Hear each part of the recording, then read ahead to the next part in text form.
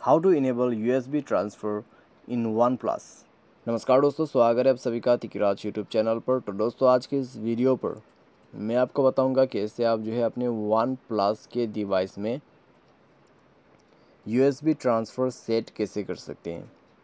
तो दोस्तों, अगर आपको पता नहीं है तो इस वीडियो को आप अंत तक ज़रूर देखिएगा। ठीक है? जब तक कि दोस्तों, आप अपने पीसी पर जितना भी कनेक्ट कर लो अपने मोबाइल को यूएसबी ट्रांसफ़र काम नहीं करेगा जब तक आप इस सेटिंग को इनेबल नहीं करते हैं। तो ये सेटिंग दोस्तों बहुत ही ज़्यादा इम्पोर्टेंट सेटिंग होने वाला है। अगर आप दोस्तों ट्रांसफ़र वगैरह करते हैं mobile to PC PC to laptop ठीक है? तो ये काफ़ी ज़्यादा आपको काम आएगा। तो वीडियो के साथ अंत तक बने रहिए। साथ ही साथ अगर आपने चैनल को सब्सक्राइब नहीं किया है तो सब्सक्राइब करते हुए बेल आइकन को क्लिक करें।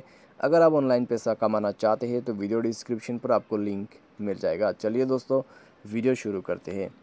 तो दोस्तों, यहाँ पे आपको सबसे पहले करना क्या है?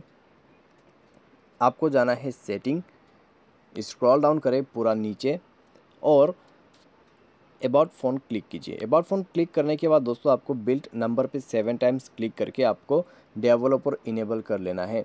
मैंने ऑलरेडी इनेबल कर रखा है।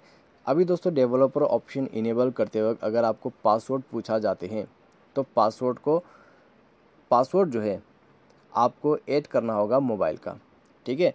उसके बाद नेक्स्ट आपको जाना है सिस्टम, डेवलपर ऑप्शन, उसके बाद नीचे नीचे आइए, आपको मिल जाएगा यूएसबी ट्रांसफ़र का सेटिंग। तो उसके लिए आपको सर्च करना है यूएसबी कॉन्फ़िगरेशन, ठीक है?